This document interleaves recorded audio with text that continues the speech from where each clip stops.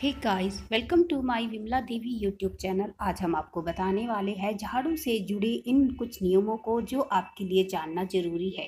किस समय हमें झाड़ू घर में लगाना चाहिए और किस समय हमें झाड़ू नहीं लगाना चाहिए? झाड़ू लगाने के बाद हमें इस झाड़ू को कहाँ पर रखना चाहिए? जी हाँ सबसे पहले हम बताने वाले हैं कि झाड़ू हमें घर में किस समय लगाना चाहिए। सुबह जब अंधेरा रहता है, तब हमें घर में झाड़ू नहीं लगाना चाहिए। हल्की जब सुबह हो जाती है, हल्का चांदना हो जाता है, तब से लेकर के हम झाड़ू लगा सकते हैं अपने घर में। और सुबह से लेकर शाम के चार बजे तक हम अपने घर को साफ़ कर लेना चाहिए। साफ़ करना हमें ज़रूरी है। हर रोज़ हमें झाड़ू बाहर, झाड़ू से बाहर कूड़ा निकालना ज़रूरी है और शाम के चार बजे तक ये हमें काम कर लेना चाहिए। शाम के चार बजे के बाद हमें घर में झाड़ू से कूड़ा बाहर नहीं निकालना चाहिए।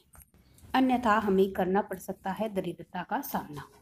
इसके बाद जान लेते हैं कि झाड़ू घर में लगाने के बाद हमें किस दिशा में इसे रखना चाहिए। घर की झाड़ू को लक्ष्मी स्वरूपा कहा जाता है या फिर लक्ष्मी के समान ही इसे माना जाता है। इसे उत्तर दिशा में हमें झाड़ू लगाने के बाद रखना चाहिए। और रात्रि के समय हमें कभी भी घर से कूड़ा बाहर नहीं करना चाहिए। अगर झाड़ू लगाना रात्रि में आवश्यक है तो उस कूड़े को घर में ही रख ले, बाहर ना निकाले, बाहर ना फेंके, जो रात्रि में आपने झाड़ू लगाया है और वो कूड़ा आपका घर में इकट्ठा हुआ है, उसे घर में ही रहने दे। सुबह उठते ही आप उसको बाहर फेंक सकते हैं, बाहर कर सकते हैं।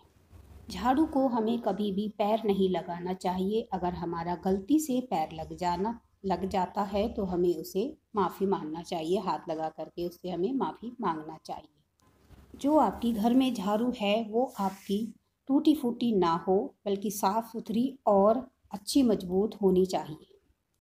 ये थे कुछ झाड़ू से जुड़े हुए नियम। इनका पालन अवश्य करें। ये आपके लिए जानना ज़रूरी है। ऐसी ही जानकारी के लिए प्लीज़ इस चैनल को सब्सक्राइब करें, कमेंट करें, शेयर करें। Thanks for watching this video.